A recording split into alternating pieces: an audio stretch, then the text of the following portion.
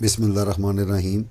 بدبختی کی وجہ سے پریشانی۔ اگر کوئی اپنی ہی کوتاہیوں کی وجہ سے قربناک اذیت میں پھنس گیا ہو اور دن بدن ترقی کی بجائے الٹا پست اور نیچے درجے میں پہنچ گیا ہو اور توبہ و استغفار کا طالب ہو اور دوبارہ اپنی اصل جگہ پر پہنچنا چاہتا ہو، تو اس نقش کو بروز جمعرات زعفران سے لکھ کر اپنی سیدھی بازو پر باندھے۔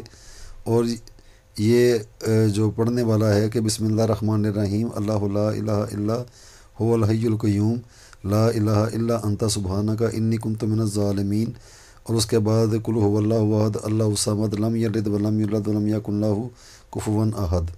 اس کو ورد کیا کرے اور ہر فرض نماز کے بعد اپنے نام کے عادات کے مطابق اسی کو ہی پڑھے۔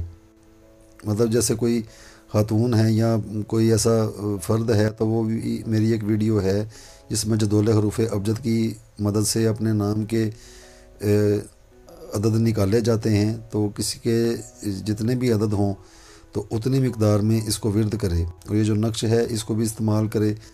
بدبختی کی وجہ اگر یا تو جادو ٹونا ہوگا یا کوئی ایسی آفت ہے یا کوئی کسی نے کسی کو بد عمل کر کے پھنسایا ہوا ہے تو ان شاء اللہ تعالیٰ اس روحانی عمل کی وجہ سے کوئی ایسا راستہ ضرور نکلے گا جس سے بدبختی بھی ختم ہوگی اور آگے والے جو معاملات ہیں وہ بھی آسان ہو جائیں گے۔